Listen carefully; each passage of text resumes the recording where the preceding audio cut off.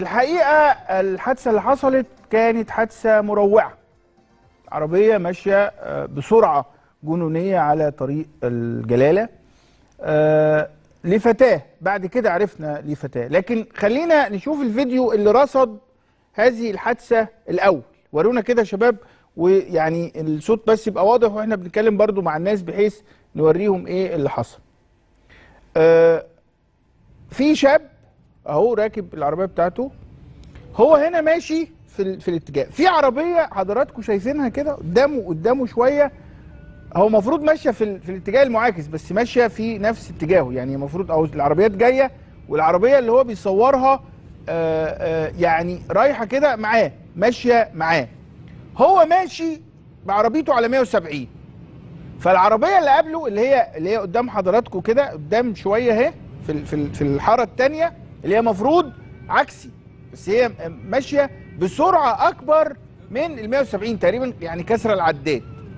هو قاعد يتابع ال ال ال آه، العربية اللي ماشية وقاعدة تفادي هي العربيات ماشية بسرعة جنونية لحد ما بتيجي. يعني داخلين آه أهو على إنه إنه آه، بتفادي بتفادي عربية وبعدين بتصطدم ب آه، آه، سيارة أهو أهو. آه يعني هو ماشي على 170 هي ماشية أسرع أو يعني ماشية أسرع. لحد ما بيحصل الصدام ما بينها وبين آه، عربية جاية في الاتجاه ال- ال- المخالف. هو طبعا قاعد مش مش يعني هو مش متخيل مش عارف إيه اللي بيحصل ده أو إيه اللي هو بيتابعه قدامه. لحد ما العربية آه يعني بيحاول ينقذ ما يمكن إنقاذه. عاوز يصور رقم عاوز يستغيث أهي. يعني لحد أهي. حد حصلت الحادثة. بعد كده هو نزل صور العربية اللي عملت هذه الحادثة. الفيديو هنا ما يقولناش أي حاجة. يعني ما يقولناش أي حاجة ما يقولش إيه ال- إيه اللي حصل. هي الزملاء في موقع صدى البلد آه، اشتغلوا على هذا الموضوع وقالوا إنه ال ال هذه الفتاة اللي يعني توفيت في هذا الحادث اسمها إيمان نايل. وهي ابنة الدكتور آه، محمد نايل. آه، وبيقولوا تم العثور على ورقة صادرة من معمل التحليل بها آثار حروق مكتوب بها داليا هلال هلال شطا عبد المحسن. وقالت لهم المصادر إن التحقيقات آه، بينت سير الفتاة عكس اتجاه في طريق دولي سريع وأن السير يتجاوز السرعة القانونية على سرعة 170 في طريق عكسي وعلى طريق دولي سريع مما يثبت تعمد إصرارها على الإضرار بالتعمد بالانتحار والإضرار بأرواح الغير وتعريض حياتهم للخطر. آه، الخبر بيقول كمان في صدى البلد أكدت أكدت شهود عيان خلال التحقيقات التي تجري بأمن السويس أنه قبل وقوع حادث التصادم بثواني مرت الفتاة بجوار أكثر من سيارة ملاكي وتفادت مرورهم متجاوزة الحارة اليمنى وفي النهاية قررت واختارت سيارة نقل لإحداث أكبر ضرر ممكن به. واختارت الفتاة أن يكون التصادم في الجزء الأيمن والسفلي للسيارة النقل حيث يقع خزان الوقود تانك الجاز مما تسبب في حدوث انفجار في السيارة النقل وتدمير واشتعال سيارتها وتدمير آه، السيارة النقل بالكامل وتعمدت إصابة قائدها وتعريض حياته للخطر.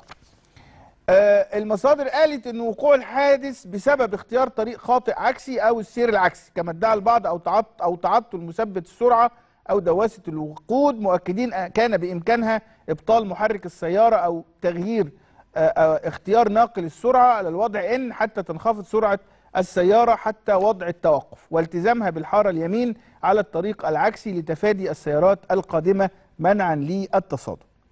الحكاية إيه يا جماعة؟ إنه المشهد اللي إحنا شفناه قدامنا الحادثة زي ما حضراتكم كده شايفين في بعض الناس اللي علقوا على الفيديو قالوا أصل الطريق الدولي ده مفيش فيه يوترن قريب فهي كانت ماشية بسرعة عشان تحاول توصل لأي يوترن وترجع تاني. لكن هذا الكلام للأسف ليس صحيحا لأنه كان في إصرار. قالوا إن هي تفادت عربيات ملاكي تقريبا كانت عاوزة تصطدم بعربية كبيرة عشان يعني يبدو أنها قررت آه، انها يعني تتخلص من حياتها.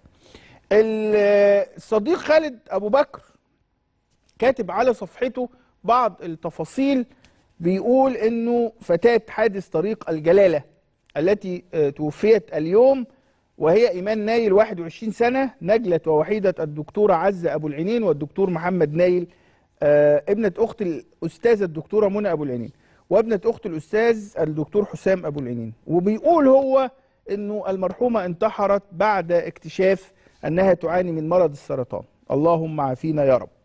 في النهاية في النهاية ليه بنقول هذا الموضوع؟ وممكن ناس تقول لك يعني أنتوا تنشروا الصورة وبتقولوا الخبر و...